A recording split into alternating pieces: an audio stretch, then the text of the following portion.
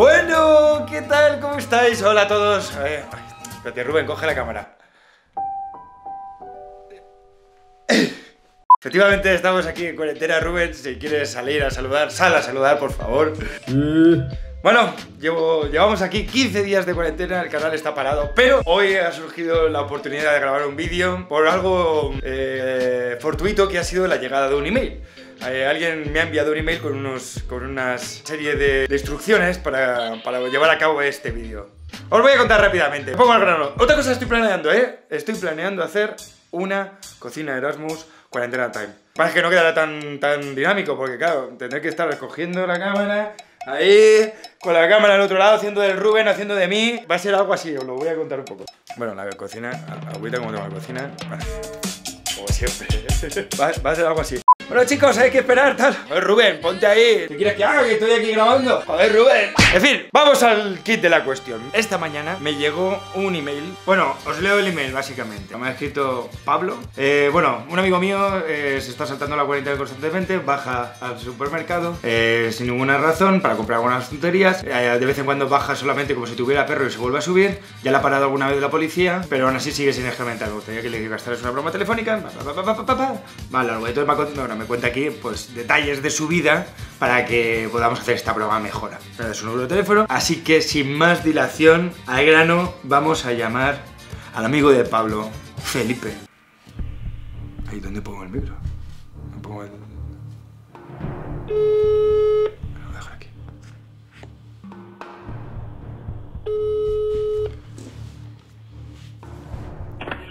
Sí, Eh, hola, buenas, Felipe de... sí, un segundo, espera.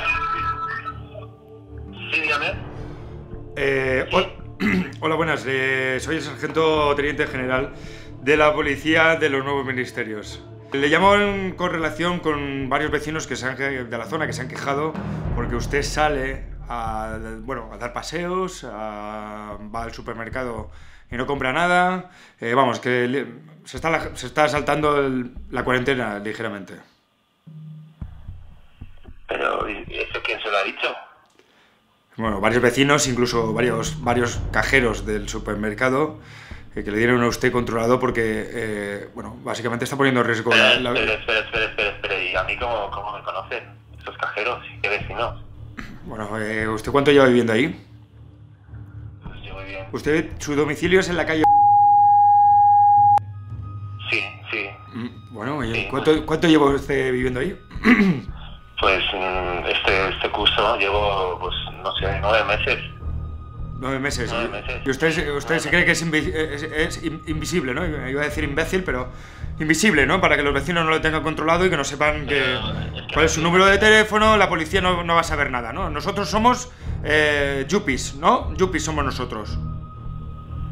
Bueno, es que no entiendo por qué me está hablando así usted. No... Usted saliendo a la calle está poniendo en riesgo la vida de otras personas. Quiero que sea consciente de ello. no, Pero, escuche, yo, yo salgo a hacer la compra y a... Hacer la compra es comprar un bote de ketchup. Hacer la compra es comprar un bote de ketchup. Bueno, pues lo que voy necesitando cada día a día. Si necesito algo, pues bajo a comprarlo. ¿Qué compras? O sea, ¿Qué compras? normal. Bueno, pues la compra, pues por ejemplo, si voy a... co- Porque, bueno, pues esto, yo estoy viviendo solo y estoy, estoy cocinando y estoy haciendo todas mis... O sea, estoy haciendo... Todo lo hago yo, entonces si estoy cocinando y me falta algo, pues tengo que bajar yo, no puede bajar otra persona. Pues usted tiene que bajar y hacer una compra grande que le sirva para cuanto más días mejor y no salga de casa. Espere, espere, ¿me, me permite un segundo que me ponga los iPods?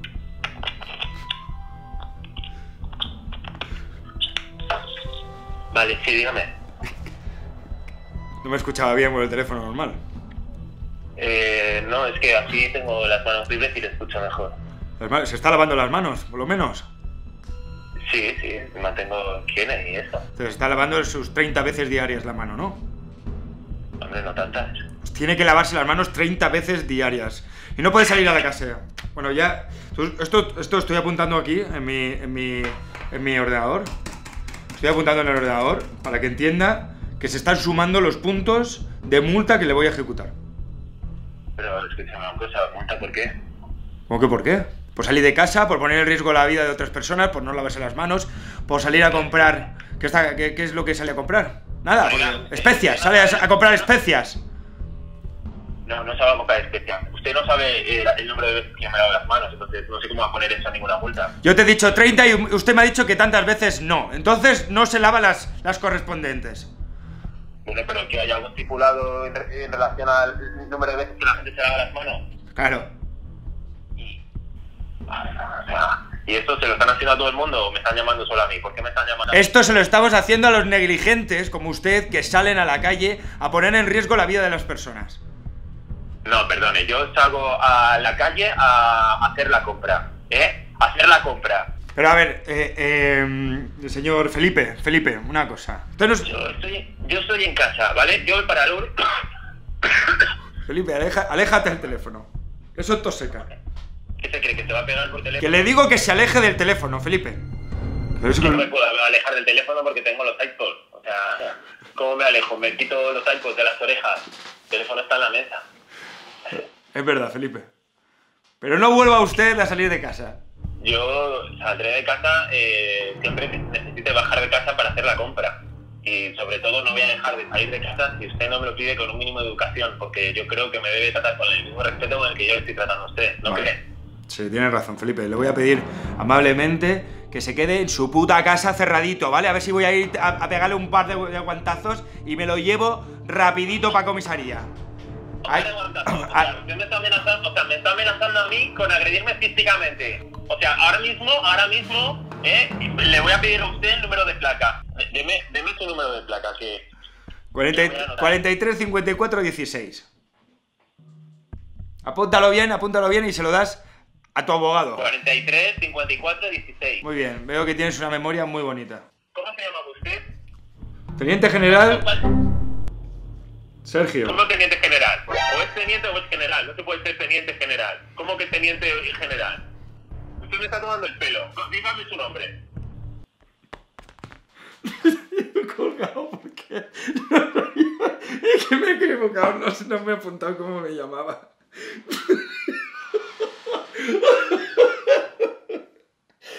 Espérate, voy a. Le llamo otra vez. Esto, hostia. Esto, el Rubén, el Rubén se enfada conmigo. Pero ¿cómo eres tan tonto? Me da apuntarte. Bueno, no ha ido, no ha ido como me esperaba. bueno, ¿sabéis lo bueno de todo esto? Em, eh, lo bueno de todo esto es muy sencillo. Como tenemos aquí una cuarentena larga que nos depara el futuro, podemos hacer esta broma muchas más veces. Así que eh, es el momento de que me enviéis eh, al email de la cocina Eramus a quién podemos gastarle alguna broma y la hacemos. Además, eh, estaría guay porque sería como el primer youtuber que hace estas cosas. Que nada, tío, se, lo voy a enviar a Rubén para ver si puede hacer algo de, de magia editando. Y a ver qué te queda. Bueno, chicos, pues nada, tíos, feliz cuarentena. Lo vemos en la cocina Erasmus que estoy preparando. Un beso, chao, hasta ahora.